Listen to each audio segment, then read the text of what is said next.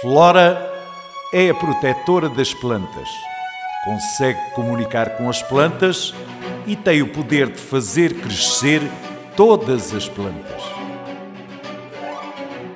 O Capitão Mundo tem o poder da sensibilização ambiental. Tem o poder de semear ideias que protegem o mundo.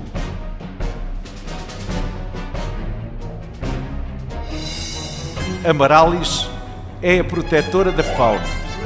Com a flor encantada, tem o poder de curar todos os seres vivos ao seu redor.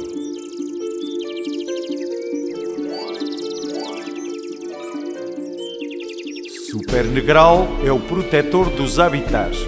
Quando toca a sua gaita de foles, a música protege todo o habitat.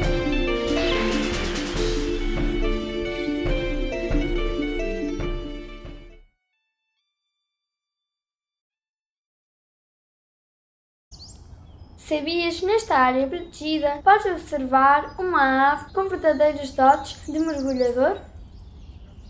O mergulhão de pescoço preto é uma pequena ave aquática ativa na busca de alimento, com mergulhos sucessivos e é um excelente nadador.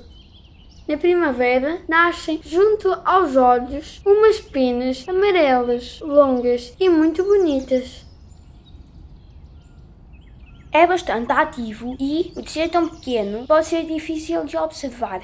Está em Portugal apenas durante o inverno. E tu, já viste algum mergulhão de pescoço preto?